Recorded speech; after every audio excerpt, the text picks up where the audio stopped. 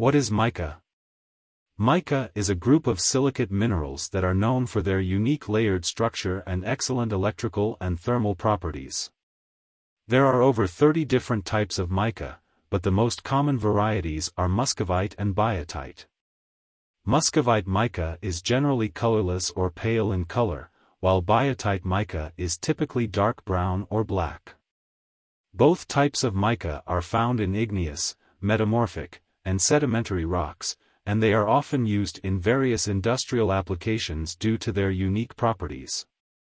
One of the most interesting properties of mica is its ability to split easily into thin, transparent sheets.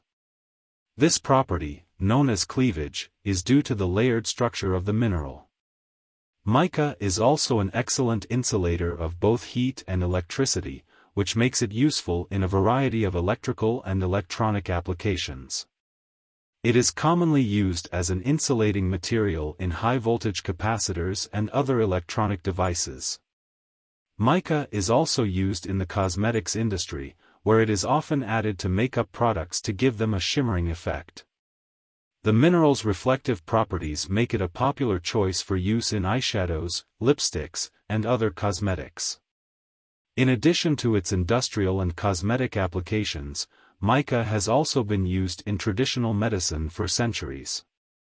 The mineral has been used to treat a variety of ailments, including digestive issues, skin conditions, and respiratory problems. Mica is also an important mineral for geologists, as it can be used to date rocks and determine their origins. By studying the chemical composition of mica found in rocks, geologists can gain valuable insights into the history and formation of the Earth's crust. Overall, mica is a fascinating mineral with a wide range of applications and uses. Its unique properties have made it an important industrial material, a popular cosmetic ingredient, and a valuable tool for geologists and scientists.